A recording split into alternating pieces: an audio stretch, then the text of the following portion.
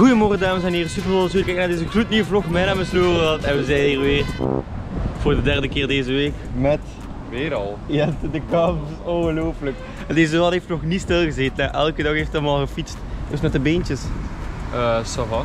Maar mijn gat, jongen, holy Goed shit. gerecupereerd. Ja, Ik heb echt een nieuw zadel nodig. Ja? Anders zal het ervan of zo hè. Hè? Anders zal het ervan. Ja. Dat is misschien wel, dat is misschien wel nog beter, man. Dat is echt niet, ik heb denk ik nog nooit zoveel zadel bij. Koen heeft nog niet geantwoord op mij. Nee, bij mij ook niet. Ah. Maar dames en heren, wat staat er vandaag op de planning? We gaan een intervaltraining doen, 4 keer 4 minuten, zone 4. En dan eh 5 keer zone 5. Hoe lang gaat het, vraagt u waarschijnlijk af. Ehm, dan gaan we zien hoe lang dat bergje duurt. Want eh, ik heb een route gedaan met 4 keer op een bergje op en neer rijden. En dan eh, naar Pamel gaan. En dan daar 5 keer op en af rijden. En eh, dan gaan we een goede intervaltraining hebben gehad. Dat kan wel En, pittig zijn. ja, inderdaad. Pittig, maar een goede training. En ja, ik eh steek die intensiteit er een beetje in voor die koers onder andere en voor eh, de triathlons. Dat ik toch een beetje intensiteit in de beentjes krijg. En eh, ik was eigenlijk, ben eigenlijk van plan om vandaag nog even te lopen. Eh, gisteren stond er niet echt iets anders op de planning buiten fietsen. Dus ik zei misschien gaan we nog zwemmen of, of lopen. Ehm, dat is er niet meer van gekomen omdat ik nog aan het editen was aan de fietsvlog van 200 kilometer. En toen heb, dat was een leuke video hè. Ja, ja. Dat vond ik een geestige video om te editen. 20 minuten lang is die geworden, dus hij heeft wel een tijdje geduurd.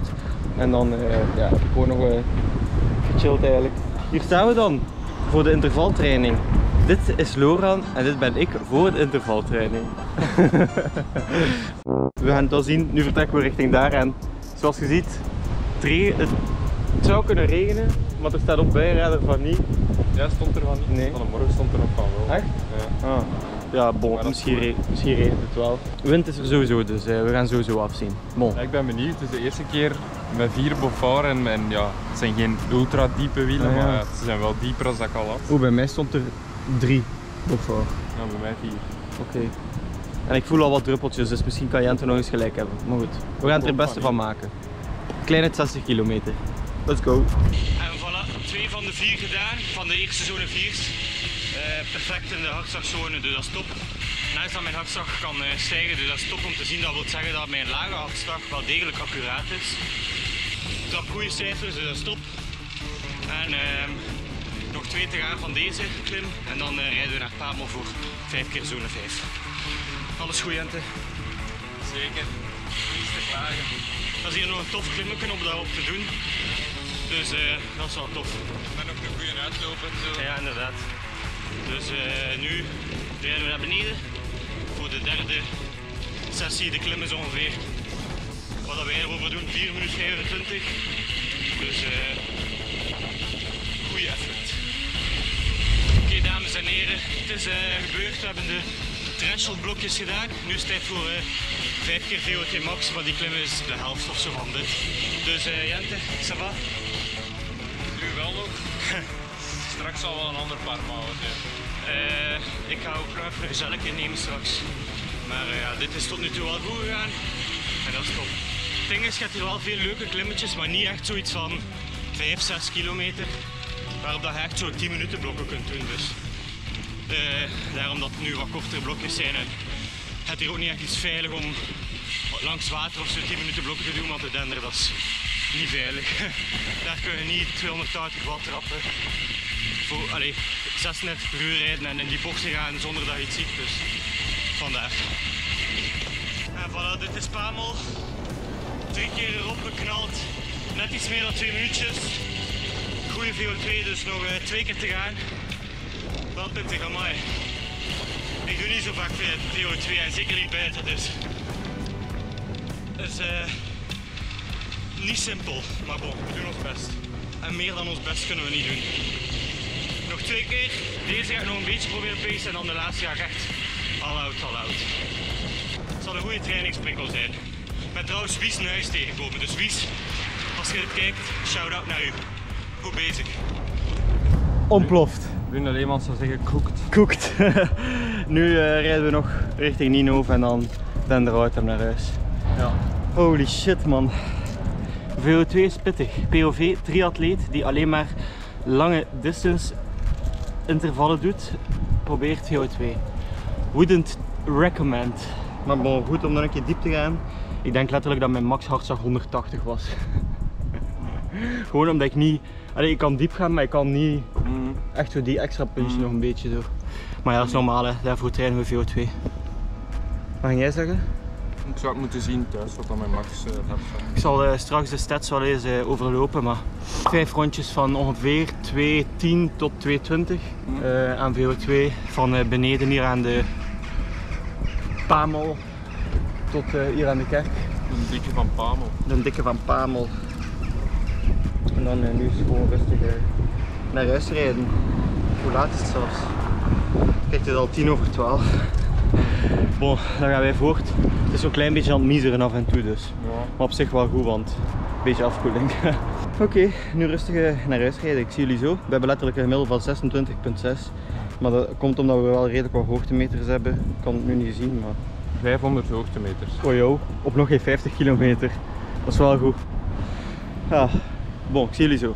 Ciao, ciao. Oké, dames en heren, mijn haar ziet er niet uit. Ik moet nog naar de kapper bellen, maar hij is op verlof. Nog altijd, dus eh, die neemt gewoon niet op. Ik heb net de vlog geëdit. Ik loop hier rond in mijn eh, onderbroek. Ja. Want wat ga ik nu doen? Ik ga de beesten eten geven terwijl de vlog in de render zit. Ik heb dus weer geëdit, as usual, de usual thing wat ik dagelijks doe. Ehm, nu ga ik even de beesten eten geven, maar kijk eens wat een mooi zonnetje het is. En ik heb nog een looptraining. Ik heb gekeken, ik dacht dat het een tempotraining was, maar het is een eh, 10 kilometer rustige duur. Eh, omdat eigenlijk in mijn schema moest ik al wat intervallen en wat tempotrainingen hebben gedaan de afgelopen weken.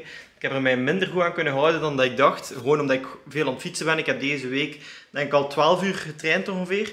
Eh, maar nu ga ik even eh, straks een uurtje gaan lopen. Maar ik heb niet zo super veel energie, dus het is ook al 20 voor 6. Dus ja, eh, of ik, ah, ik eet, ah, ik doe mijn avondeten, maar ik ken mezelf en dan ga ik een beetje te lang wachten en dan ga ik geen zin meer hebben om te lopen. Dus ik denk dat ik gewoon even een croque monsieur ga maken. Dan kan ik ondertussen de thumbnail maken, de vlog online zetten. Dan gaat mijn, dat, dat, dat is iets minder zwaar op mijn maag. Dan kan ik rustig 10 kilometertjes gaan lopen. Kan ik de nieuwe schoenen testen, want ja, als het toch mooi weer is buiten, veronderstel ik dat de banen al zijn opgedroogd.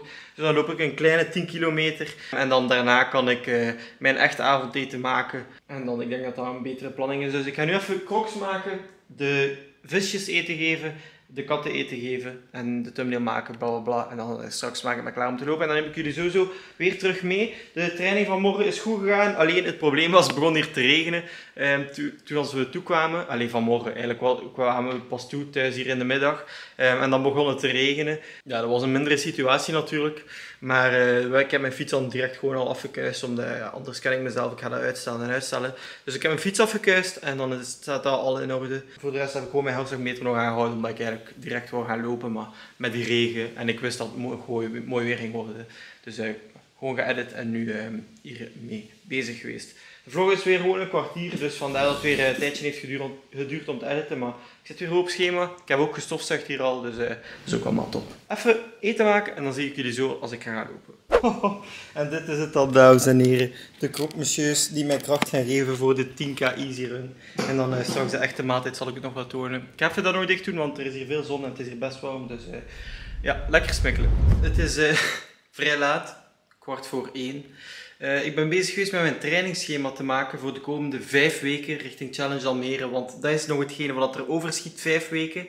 En ik ben een professionele trainingsschemamaker, maar een niet-professionele trainingsschema-uitvoerder. Dus, zoals dat ik altijd zeg, we gaan nu proberen het trainingsschema uit te voeren. Ik heb mijn kalender erbij gepakt, Trainara erbij gepakt, de looptraining van Trainara erin gezet, omdat die nog altijd die buik hebben dat die trainingsuren, die intervallen, dat die tijd helemaal verandert. Dus dan weet ik dat tenminste hoe snel dat ik effectief moet lopen. Dus die staan nu op papier in een pdf. Um, dus ik kan gewoon daarvan kijken. Mijn fietstrainingen staan erin, zwemtrainingen staan erin.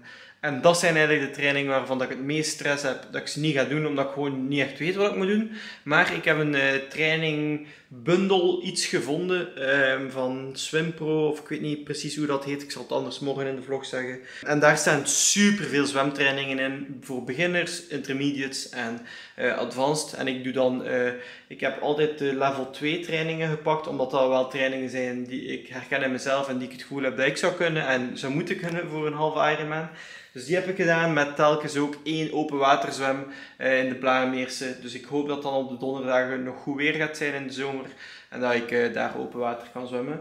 Uh, ook rekening gehouden met de wedstrijden die ik nog ga doen. Dus er gaan nog een paar intensieve weken aankomen. Maar ik hoop dat als ik die weken kan doen, dat ik even nu drie weken een soort van build-up kan doen. Daarna is het eigenlijk twee weken down, down week soort van. Of niet echt een down week, nog steeds veel trainen. Maar minder dan de, de, de drie weken daarvoor die aan het opbouwen waren. Om dan de trainingen te absorberen goed te kunnen rusten, ook te taperen richting uh, Challenge Almere. Want dat is natuurlijk mijn e-goal en voor je e-goal moet je taperen.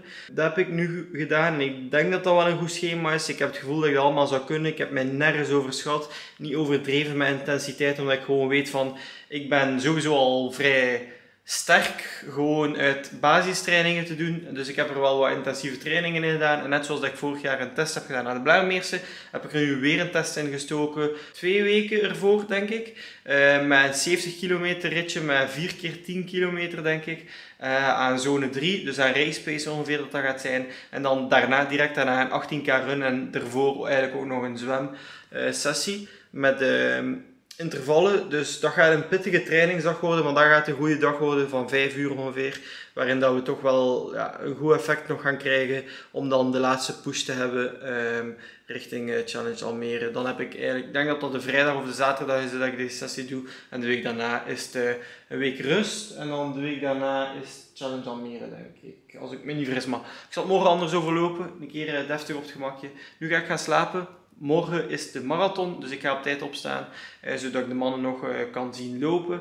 En dan ehm, ga ik er wel weg, ga ik zorgen dat de vlog al geëdit is in de ochtend. Ik ga gaan slapen. Ik wil jullie bedanken dat jullie hebben gekeken naar de vlog. Morgen ben ik er weer bij, bij een gloednieuwe vlog om 6 uur. En zoals ik altijd zeg, ciao, kus.